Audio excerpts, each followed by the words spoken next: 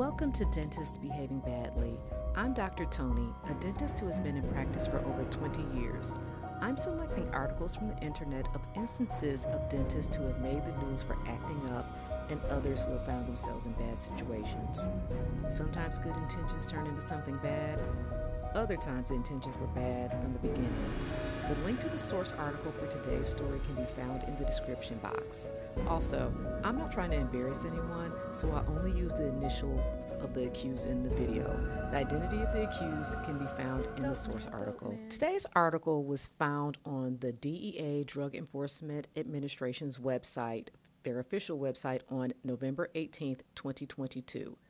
Dentist and Town of Oyster Bay worker charged in 136 count indictment for opioid prescription scheme. Again, this is November 18th, 2022. Mineola, New York. Nassau County District Attorney and Drug Enforcement Administration Special Agent in charge announced that a Nassau County dentist and a town of Oyster Bay worker have been indicted for their roles in a scheme to sell opioid prescriptions during a four year period from 2017 to 2021. Dr. J.D. 49 with a home address in Farmingdale and a dental office address in Massapequa was arraigned before the judge today on 113 counts of criminal sale of a prescription for a controlled substance by a practitioner or pharmacist, a C felony. The defendant pleaded not guilty, was released to pretrial services, and is due back in court on January 9, 2023. The dentist also previously surrendered his DEA license to prescribe. If convicted of the charges, he faces a potential maximum of five and a half years in prison. MC 52, which is his accomplice from Farmingdale, was also arraigned today before the judge on 63 counts of criminal sale of a prescription for a controlled substance by a practitioner or pharmacist, a C felony, and 23 counts of criminal diversion of prescription medications and prescriptions in the fourth degree, an A misdemeanor. The defendant pleaded not guilty, was released to pretrial services, and is due back in court on January 9, 2023.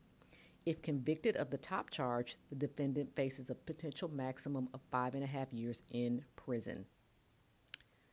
Thousands of Long Islanders have lost their lives in the last decade due to the opioid epidemic, the DA said. In this case, a respected dentist is accused of supplying more than a hundred opioid prescriptions through an intermediary to people he did not meet or examine. The diversion of powerful prescription pain medications has wreaked havoc on our communities, and I thank the DEA for their assistance in this investigation. In a case of clear disregard for medical integrity, Dr. J.D., with assistance of another, allegedly distributed oxycodone to not only individuals that he didn't treat as patients, but also to total strangers. In the midst of the opioid crisis, with the highest number of American poisoning deaths ever recorded, this supposed medical professional undoubtedly put lives at risk, said the DEA special agent in charge. The DEA is committed to investigating medical professionals and registrants who contribute to drug abuse and addiction within our communities. I commend the work of our Long Island District Attorney's Office Diversion Group and the Nassau County's District Attorney's Office for their dedication and hard work on this investigation. The DEA the DA said that, according to the investigation, the dentist was licensed in the state of New York since November 20, excuse me, 2006 and operates an office in Massapequa.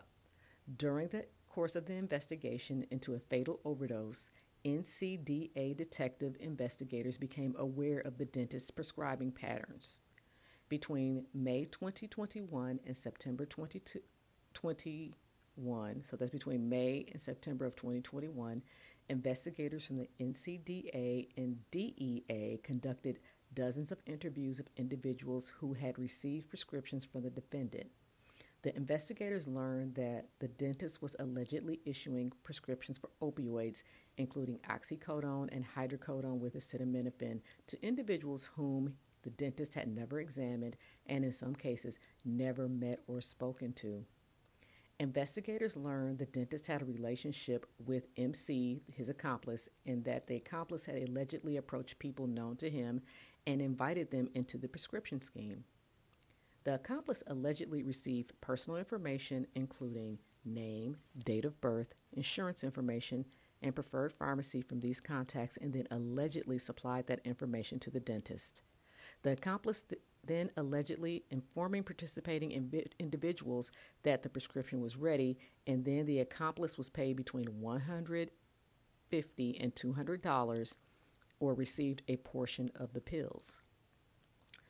The accomplice allegedly paid the dentist between 50 and $100 for the prescription steered to him for a total of approximately $5,000 between May 2017 and April 2021. The accomplice is employed by the town of Oyster Bay. Neither the dentist nor the accomplice are charged in connection to the fatal overdose. The accomplice was arrested on November 17th 2022 at his residence in Farmingdale by the Nassau County District Attorney's Office detective investigators. The dentist surrendered his, this morning to NCDA's detective investigators and to the DEA. The charges are merely accusations, and the defendants are presumed innocent until and unless found guilty. Dope man, dope yeah, man. so I need this dentist to just stick to the job at hand, doing crowns, bridges, treating teeth, providing oral care instead of trying to be a thug, drug dealing and hustling. This one is just ignorant. There's not much else to say other than it's just flat out ignorant.